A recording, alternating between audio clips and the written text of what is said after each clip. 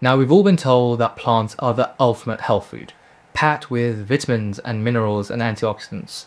But what if I told you that plants are slowly killing you? Today, I'll take you through the scientific evidence that made me stop eating plants entirely. From kidney stones to autoimmunity, from hidden toxins to hormone disruption. What you're about to hear will undoubtedly shock you. Now let's start with the most obvious one. Let's talk about anti-nutrients. Plants contain compounds called phytates. They bind onto minerals like iron or calcium and they block your body's ability from actually absorbing them. A meta-analysis published in BMC Nutrition in 2016 showed that phytates in plant foods can reduce iron absorption by as much as 50 to 65% and calcium absorption by up to 30%. And because this was a meta-analysis, which is essentially the pooling together of multiple studies, it's one of the most reliable forms of evidence that we actually have. The takeaway? You can eat all of the leafy greens you want, but your body is not going to be actually able to uptake all of those minerals that you're trying to get. Now let's talk about oxalates. Um, foods like spinach, almonds, and beets are absolutely loaded with them. Oxalates bind to calcium and they can form extremely painful kidney stones. A study published in the New England Journal of Medicine in 1993 showed that people with higher oxalate intake had a significantly greater risk of developing calcium oxalate kidney stones.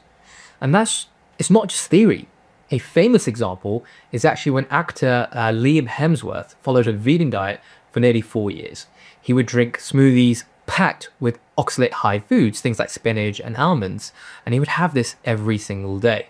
The result? He ended up in hospital with a calcium oxalate kidney stone that was so bad, he actually had to have surgery. I mean, he even admitted later they would have to rethink his plant heavy diet. Now, if this can happen to someone like Liam Hemsworth, something, someone who's that fit and healthy, it can happen to anyone. Now let's talk about lectins. Lectins are another form of plant defense protein. They essentially latch onto the lining of your gut, they pry open those tight junctions in between your intestinal cells or your enterocytes, and they create what's often called leaky gut syndrome. This allows foreign proteins to slip into the bloodstream and trigger the immune system. And that is essentially the spark for all autoimmune disease. In fact, autoimmune disease only really started skyrocketing when we started having much higher amounts of things like uh, lectin heavy foods. Now, you all heard of a lectin before, but you probably didn't know what it was.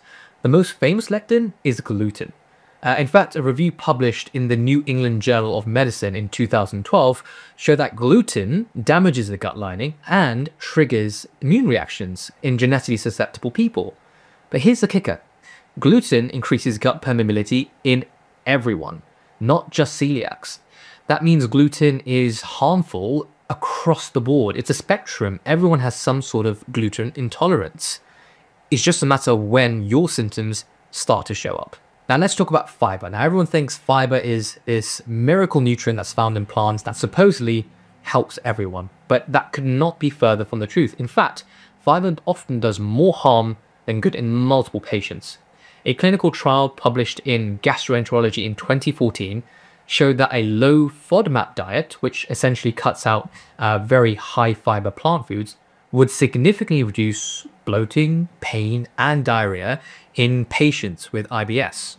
And it's not even just uh, IBS sufferers that will see benefits. Ask anyone who follows a carnivore diet.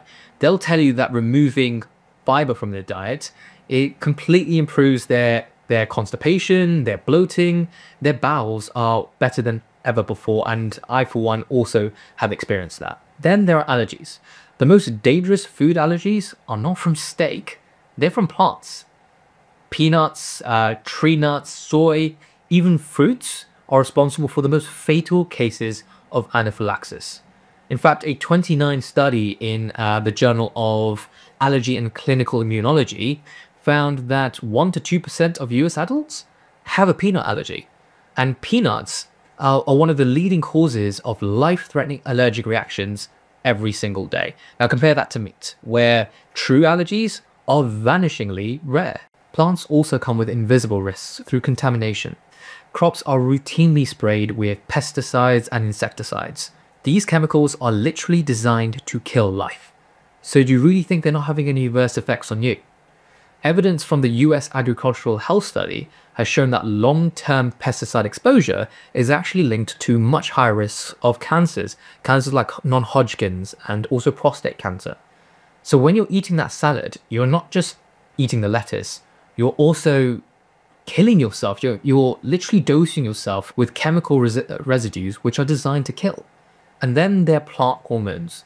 Uh, soy and legumes are really rich and, and high in isoflavones. These are plant estrogens that also bind to human estrogen receptors, and they can disrupt uh, hormone balances in both men and women.